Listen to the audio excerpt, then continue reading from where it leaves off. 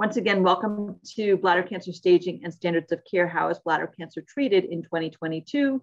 This is a patient insight webinar from the Bladder Cancer Advocacy Network. When we talk about treatments that are accepted by medical experts as proper treatment for your type of bladder cancer, meaning your stage and grade, it's really known as the standards of care or best practices. And BCAN is delighted to welcome from the University of Pennsylvania, the professor of urology and oncology, Dr. Trinity Bivalacqua, who's going to share with you how your cancer is typically staged and what is the best practice for treating the most common types of bladder cancer tumors.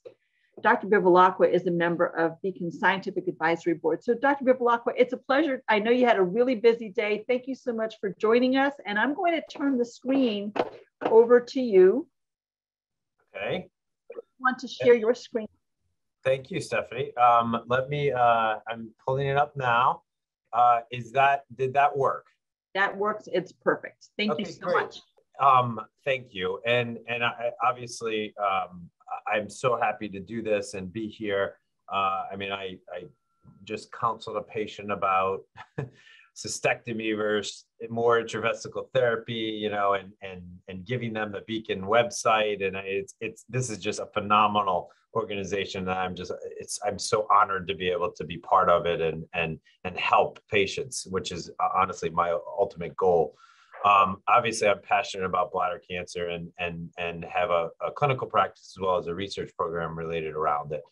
Um, so what what I was provided by by BCAN was was um, the uh, some some questions that were proposed prior to this uh, to me starting. So what I've done to the best of my ability is to is to weave in a lot, uh, if not all of those questions into my presentation. So um, there will be times when I'm going to talk in very broad strokes and very talk a lot about kind of just generalizations. Other times when I'm going to talk about specifics but and, and i will state and tell you that i can talk more about it later in the question and answers if you have it. So please ask questions.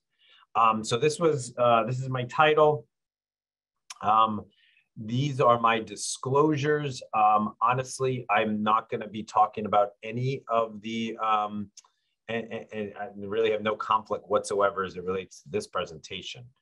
Um, so to start off with uh, the presenting signs and symptoms, unfortunately, I think the people in, that I'm speaking to today um, are, are, unfortunately very aware of these symptoms. And, you know, as, as we are all aware, gross hematuria or just seeing blood in the urine or even microscopic hematuria is the most common presentation of patients with bladder cancer. But I tell patients all the time, both men and in particular women, is that blood in the urine is abnormal and needs to be investigated. I'm not saying that you need to go out and have a PET CT scan, but you do need to have to see someone that can help uh, determine what, why you have blood in the urine. Um, irritative symptoms, in particular, urinary frequency and, and pain with urination are, are also the sort of the second most common um, symptoms. And, and this goes along with with um, specifically with a, a, form of bladder cancer called CIS, which we'll discuss. Uh, the, the, later, really end stage symptoms in patients that present with more um, locally advanced disease or, or, or, higher stage cancer is pain, obstruction of kidneys, where the tumor has grown through the bladder wall, blocking one of the ureters, which are the tubes that drain urine from the kidney. Um, so these are sort of late stage, but really blood in the urine and painful urination and increased frequency. The way we diagnose this is by cystoscopy. Uh, it's just a little telescope that we place inside the bladder. It allows us to be able to see uh, stones, um, outpouchings of the bladder, um, or any tumors. So, you know, oftentimes this is the most common, um, excuse me, is the way that we diagnose it. The other way is by imaging. Um, today, uh, CT urogram or a CT scan with IV contrast. It allows us to be able to see the kidneys, the ureter, as well as the bladder. You can see here just an example of a little mass that's seen there in the bladder at the base. This is actually a man. Um, and, and these, you know, if you have blood in your urine, inevitably, uh, especially if you are seeing, seeing blood with your eye, your, your overwhelming majority of people are going to get a CT urogram or an cystoscopy. Now, this is where we get into surgical management. So, surgical management means, you know, if a patient is diagnosed with a tumor in the bladder, which is thought to be bladder cancer, the mainstay treatment of, of this in, in, in diagnosis, and this goes to what Stephanie was talking about in the, in the introduction, is a transurethral resection of bladder tumor. You'll hear people say TUR, turbits. I've heard it all. Um, this is where we once again place a scope inside the bladder. At the end of the scope is a, is a knife, actually, that allows us to be able to scrape, cut, remove uh, uh, tumors. Here you can see what we, what we as urologists are actually looking at. We're looking at the configuration of the tumor. Is the tumor flat? Is it broad based? It, does it grow out into the bladder? Is it on a tiny little stalk? Is it papillary? Looks like a piece of cauliflower or broccoli. Where is the location? Is it in is it in multiple areas of the bladder? Is it in the prostate, near the prostate, at the sides? How big is the tumor? How many tumors are there? And when we do this, we're able to map the bladder and send this to our pathologists who look at it underneath the microscope and tell us what is the stage, what is the grade, is this bread and butter urothelial cancer, or is it something called variant histology? What is the depth of invasion, if there is invasion, and something called lymphovascular invasion, which I'll touch upon shortly. So this goes to the TNM classification system of all cancers. This is a system that represents both the clinical and pathologic staging of cancers. Um, it is used to determine the extent of disease um, uh, according to three parameters. Sorry, that's a typo there. Um, so what, what the TNM stands for is, is tumor size, uh, the degree or, or, regional spread of the, of the lymph node into lymph nodes or N nodes, presence of metastasis or M. So tumor size, this is a path, it could be tumor size or really pathological stage here okay, as it relates to bladder cancer. So when you look at bladder cancer, this is actually a, a histology of, of a tumor. Uh, this is this is what a tumor looks like underneath the microscope. Um, as you can see, I'll use my, my, my mouse here. You can see these fronds or these papillary projections that are coming from the, um, the lining of, of, of the bladder. Um, you can see these beautiful looking, and I call them beautiful because histologically they look pretty. You can see that the core of these papillary tumors, this is where the blood vessels go to supply blood supply to these tumors so they grow.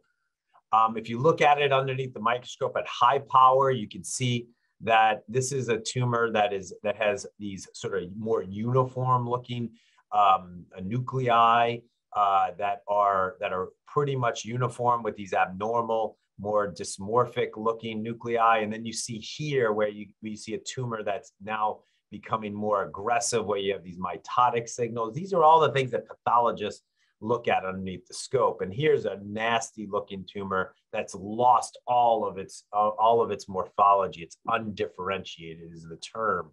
So when pathologists look at this, what they're looking at is here, which is what are the stage of the cancer? This is actually from Maggie Knowles. This is a paper that is really um, that's a review article for in Nature Reviews in Cancer. But I, I love this um, slide because, or this picture schematic there, because it really goes to the crux of staging of, of bladder cancer. So if you look here, you can see that on the left, on the on the left of this black line is actually what's what is termed non-muscle invasive bladder cancer. And to the right is what is termed muscle invasive bladder cancer. What we what I can tell you today is, is that about 75 to 80% of all patients that are diagnosed with bladder cancer at first presentation are going to be diagnosed with a non-muscle invasive bladder cancer. And about one out of four are going to be diagnosed with muscle invasive disease up front. Okay when we when we consider non-muscle invasive bladder cancer, it comes in three three stages, or or in the TNM stage, T, right? So T for tumor size stage.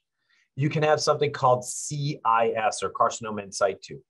That is a tumor that is that is on the lining of the bladder, on the mucosa or epithelium when a when a when a pathologist looks at this underneath the microscope, what they see is a flat lesion. When we look at this by our eye as urologists, this looks like a red little patch.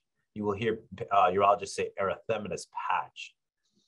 What to know about carcinoma in situ of the bladder is, which is very different than in the skin cancer, is that CIS of the bladder is actually a high grade cancer. So you can see here, the staging of cancer can be low grade or high grade.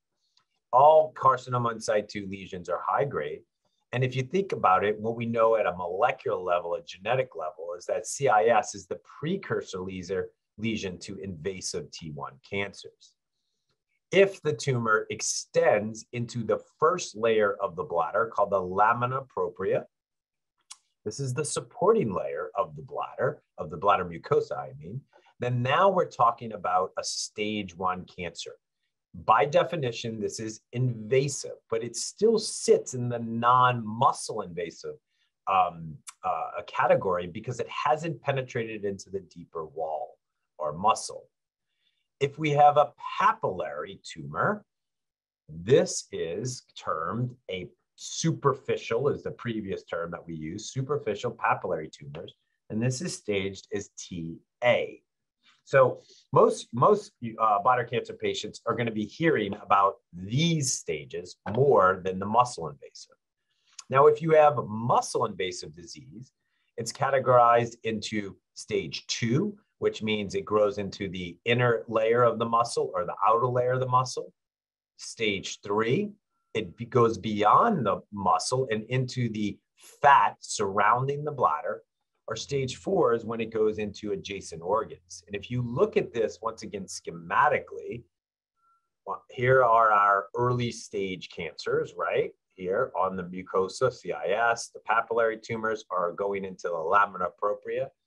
But then if you have a higher stage cancer, you can start to see it growing into the fat, beyond the fat, um, or into adjacent organs. For, for men, that's what you see here in this schematic. That would be the prostate. And for women, that could be something like the uterus or cervix. Now, this is where I, I think I, I, as I work in a tertiary center, I've always worked in an academic tertiary center. Prior to moving to Penn, I was at Johns Hopkins. And what we always tell patients when they come and see us, and they get very frustrated with this, but we always say, listen, we need to get your slides reviewed here at Penn to make certain that, that the diagnosis is correct. So why do we do this? I love this article. This is a this is the this is an article that was um, uh, that's that was published by the group at Columbia. So Jim McKiernan's group with their GU pathologists. So these are pathologists that only look at GU cancers. So if you come and see me at Penn, you'll say, you'll hear me say, okay, I need to get your your slides reviewed by our pathologist here. Well, while I'm doing that, because our GU pathologists are, are, are, are going to have a very different eye at times than maybe the local pathologist that's doing all kinds of things like breast cancer, colon cancer, bladder cancer, prostate cancer. And this is not a criticism of anyone, but subspecialization makes a difference. I like this because what they showed in this study was is that when these slides were reviewed at Columbia, 60, uh, excuse me, um, uh, 60% of the time, they found that there was a discrepancy actually in the diagnosis of, of the pathology of, of the final path that changed clinical recommendations. Okay, so said a different way, when the pathology slides were reviewed, it provided me as the urologist that's taking care of that patient with something that changed my recommendation or changed my understanding of their cancer. That meant that we might treat them a little differently. So it's super important that, in my opinion, that you have your slides read by a specialist that works in GU pathology. Just like you go and see a specialist for a second opinion for management, it's the same thing for pathology. This is, I put this in here because this has to do with one of the questions I, I got um, prior is what about some molecular markers to be able to determine if this will help guide my treatment of my bladder cancer. I'm going to intertwine that in every section.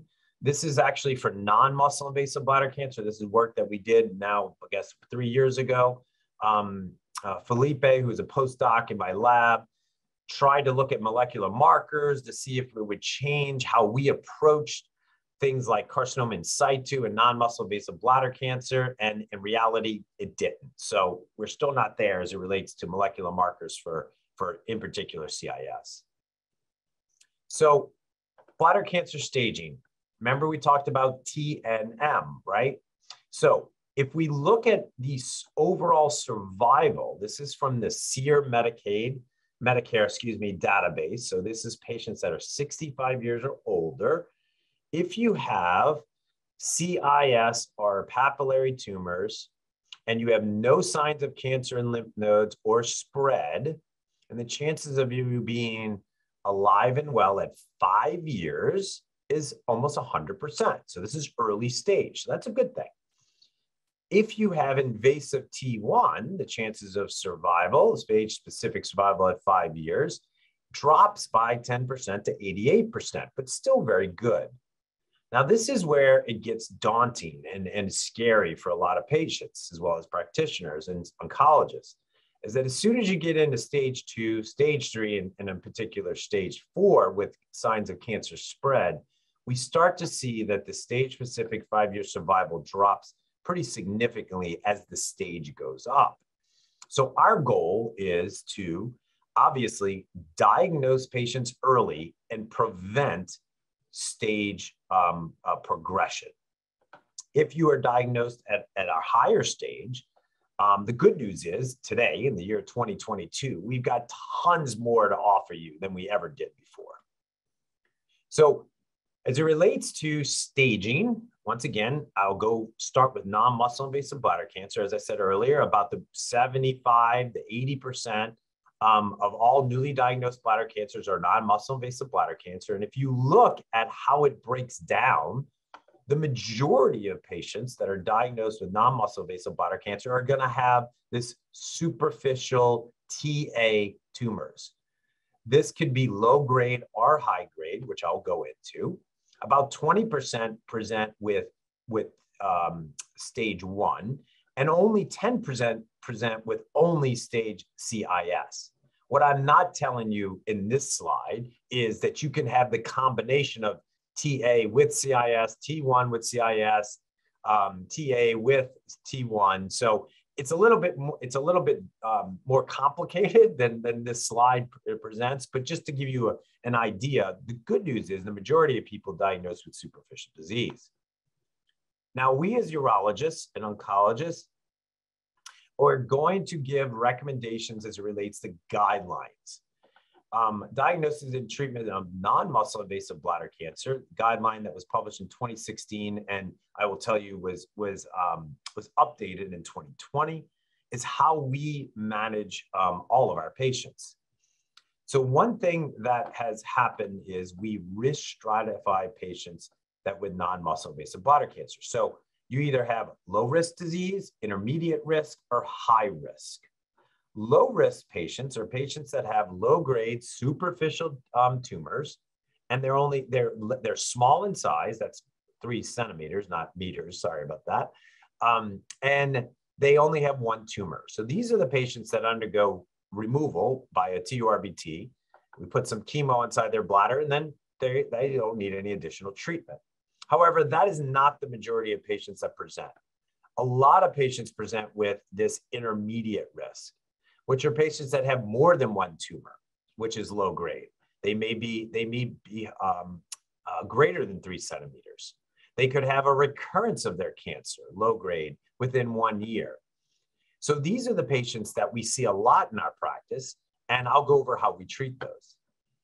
It's the high risk group that I think gets a lot of attention appropriately because these are the patients that have high grade cancers CIS, T1, are, or large TA high grade tumors.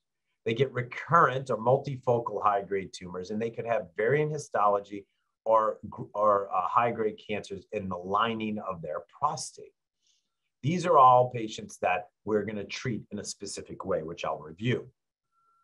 So our goal by doing a TURBT is to figure out, is it low grade? Is it high grade?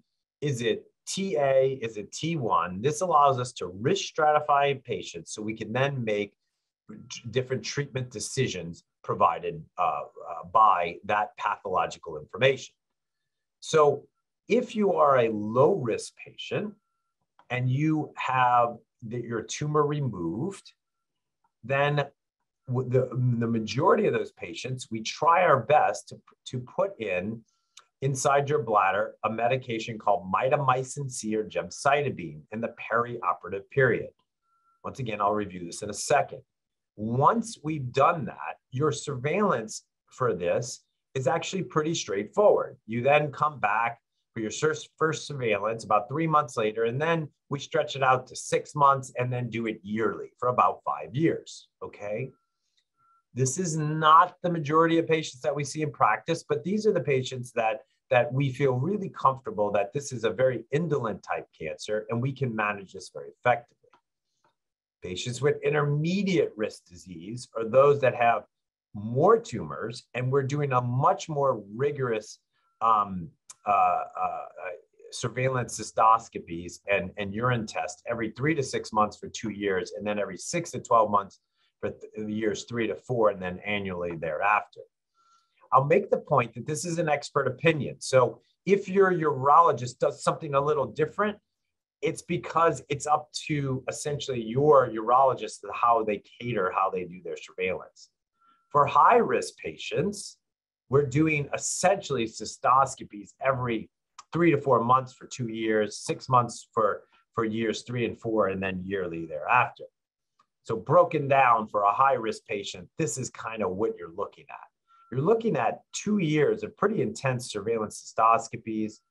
Then for years, you know, three and four every six months, and then yearly after that. One thing that I think gets lost sometime is that we, we should be performing CT urograms to look for potentially cancers that can occur in the upper tracts of the kidney and ureter every year to 18 months. And in my practice, I do it every essentially every 18 months. Cytology is used for patients with intermediate and high risk disease, and molecular cytology is available. But I will tell you today that we really don't know if, if these sort of um, uh, assays or tests, how to really work it into the clinical practice. As it relates to the guidelines, how do we treat patients with high risk, um, uh, high grade TA tumors? Okay. If you come and see me and you have a high grade superficial TA tumor, I'm going to be repeating another transurethral section of that um, tumor bed uh, within six weeks of that first TURBT, and I'll explain why in a second.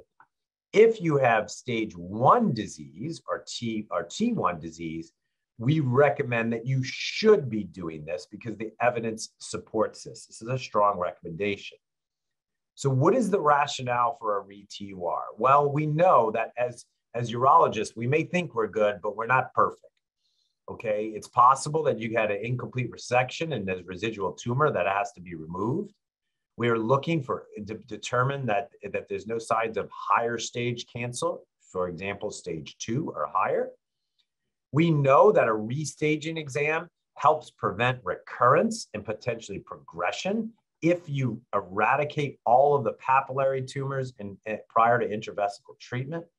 And this facilitates a more effective adjuvant intravesical therapy, which is BCG or, or, or chemotherapy. And some think that it may predict outcomes. So in my practice, if you have high risk non-muscle invasive bladder cancer, for me, it doesn't matter if it's high grade TA or T1 or CIS, you are undergoing a pathology review for the reasons I described and a restaging exam about four to six weeks later with using enhanced cystoscopy, which is blue light cystoscopy. We do this because there's strong evidence to support this. So, what is the evidence? Well, this is work that was done by a number of different places. This is just one example. If you have superficial TA high grade cancer, there are, there are reports that upwards of 17 to 67% of patients that undergo a restaging exam we still find residual cancer. And more importantly, and this is the reason why we do it, is that if you have a re-TUR, the risk of recurrence is much lower than if you had no re-TUR. This tells us that being 100% certain that we've eradicated all the cancer in the bladder prior to intravesical treatment is super important. This is actually a nice study that shows that one of the um, uh, one of the biggest predictors of recurrence was if you only underwent a single TUR and did not get a restaging TUR. This is, uh, this is strong evidence to support that your urologist should be performing restaging TURBTs. And more importantly, if you have stage one cancer, this is a study that is a great example that if you have a, um, a, a re-TUR in this patient population, we find upwards of 15 to 20% of pa patients actually have um, muscle invasive bladder cancer. So what that means is that if you didn't undergo that restaging TUR, we could be under treating your cancer. So that's the rationale. This is actually a randomized controlled trial that randomized patients to uh, with high grade T1 to one TUR versus a repeat TUR.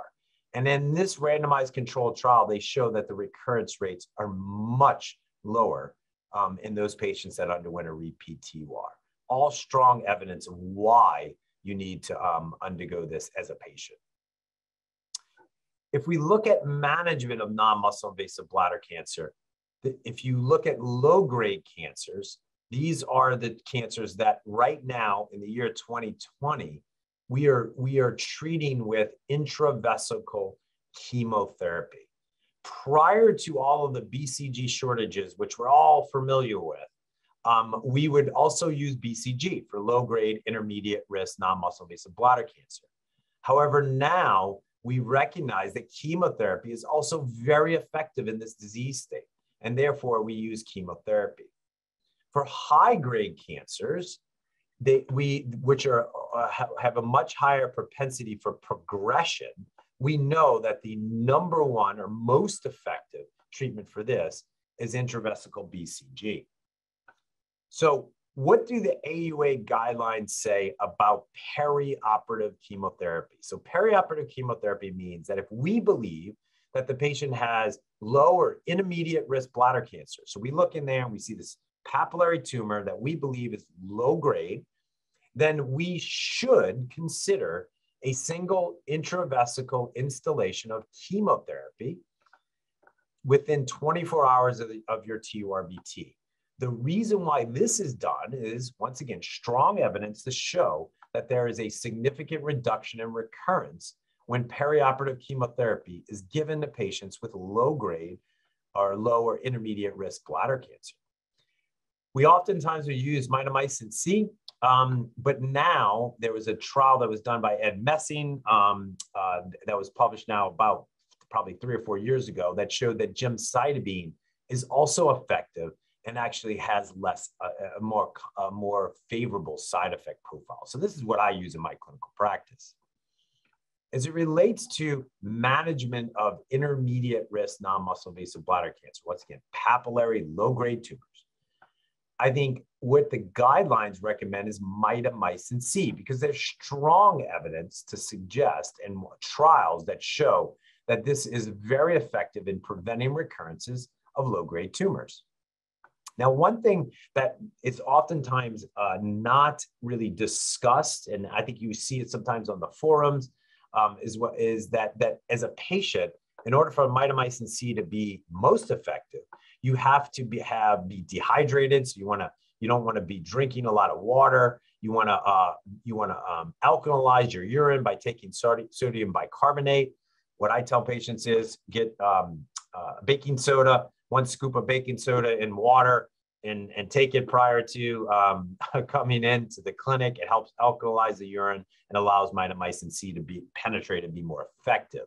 So this is what we use for patients with intermediate risk. But what scares most patients is, is, the, is the high risk group. So if we look at high risk non muscle invasive bladder cancer, we know that BCG is the first line of treatment, as I said earlier. And unfortunately, BCG fails patients in about upwards of 30% of patients. They are deemed BCG unresponsive. So the options at this point, after, after BCG has failed you, is things like radical cystectomy, additional chemotherapy inside the bladder, or clinical trials. And I'll go over that in detail because I think a lot of the questions that were proposed really go into that. But prior to me talking about it, I think it's important that we acknowledge the important work that was done through SWOG by Don Lamm and colleagues, where, where he showed that BCG should be given in an induction course, which is weekly for six weeks, and then given in a maintenance protocol. The maintenance protocol is three weeks after, excuse me, three months after finishing the six week induction course, six months after finishing the, the three week, six week induction course, and then every six months for a total of three years. The reason why this is done is because in this trial, which randomized patients to BCG induction alone or BCG induction with this specific protocol of maintenance, showed that it reduced recurrences in patients with high risk disease. I think what I always tell patients is, is that, but what we have to recognize is, is that this regimen is not easy on you as a patient. And only 16% of patients actually completed this three-year regimen. My goal in my practice is, is to get you to two years and then we discuss that additional year because I think it's ultimately a shared decision making at that point. Here is the Kaplan-Meier curves. Patients that got maintenance had less recurrences, as well as a, a, a significant improvement in worsening free survival, so progression. So if you get BCG with maintenance and it is something that is unfortunately ineffective and you are deemed BCG unresponsive, the guidelines recommend cystectomy in that patient population. Why do we recommend cystectomy? Because this is a disease which is unfortunately at high risk of progression to muscle invasive disease as well as recurrence. So we know that cystectomy is a, is a, a very effective way to treat this cancer. However, as, as all patients and practitioners will, will point out, it also is a very morbid operation and, and a life changing operation. So, what are our options for treatment at this point? So, as a patient, what are your options today? Well, this is a slide that I actually got from Max Kates and Sima Porten. Um, it was actually um, uh, actually used at, at our recent AUA meeting. I think it's a it's a nice slide that actually um, highlights what where the field is today. Okay. What I will tell you is is that in clinical practice, if you are BCG unresponsive, you either undergo a cystectomy, you enroll in a clinical trial, or you have the following options.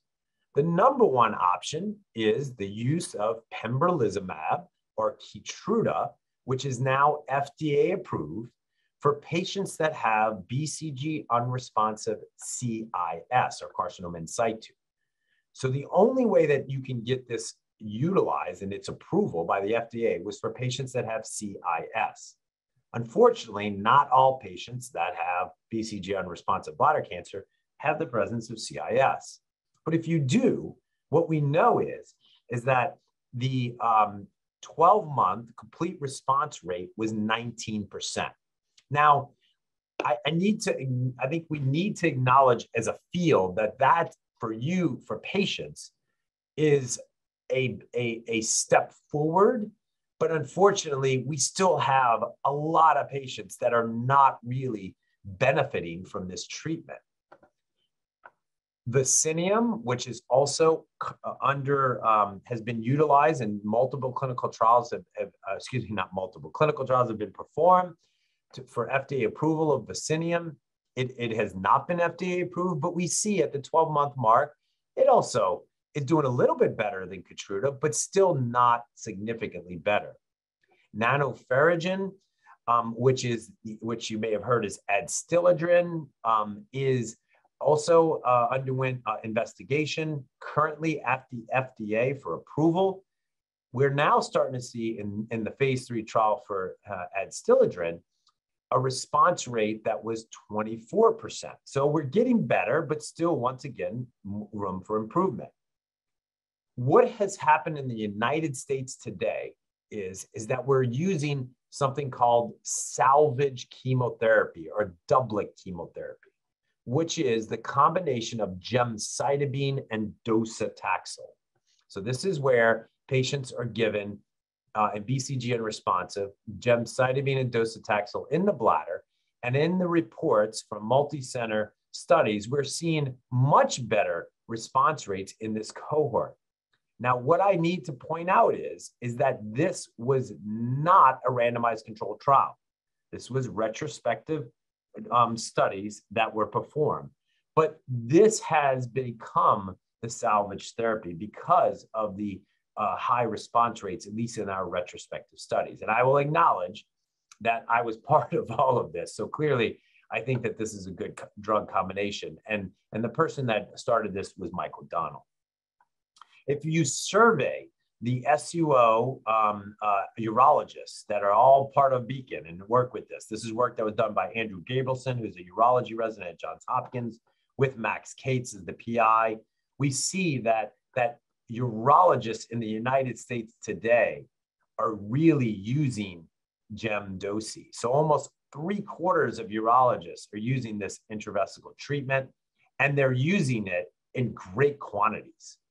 And what we also know is, is that the majority of its use is being used in BCG unresponsive disease, as well as in intermediate disease, patients with intermediate risk non-muscle invasive bladder cancer. And what we're now learning is, is that if you don't have BCG because of the BCG shortage, it's now being used in high risk. So a lot of the questions that I were asked is, well, what about something else that we can use? Well, right now in the United States, this is, this is something that's being uh, heavily studied and utilized. I'll shift gears now to enhanced cystoscopy. So what is enhanced cystoscopy? That's where we as urologists will use one of two modalities, blue light cystoscopy, which is something called Cysview, or narrowband imaging. Both of these are given, um, are, are, are recommended by the guidelines both blue light cystoscopy is something that should be used and narrowband imaging may be considered. Why do we use um, blue light cystoscopy? Because when we utilize blue light cystoscopy in, in this study that was published by Sia um, from USC, is that we were able to detect multiple tumors that were not seen with white light. And actually, in this study, we used it after intravesical BCG. So it helped us be able to accurately stage and treat patients with bladder cancer. So this is why I use it in my clinical practice. Another question that was thrown out, what about molecular subtyping or genomics or molecular profiling of non-muscle invasive bladder cancer? Well, well, right now, I'm sad to say it is not part of our clinical practice. It's still very much in the research arena.